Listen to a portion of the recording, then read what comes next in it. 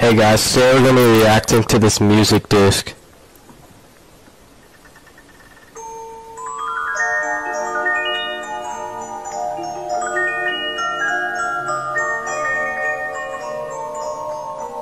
This is actually pretty good.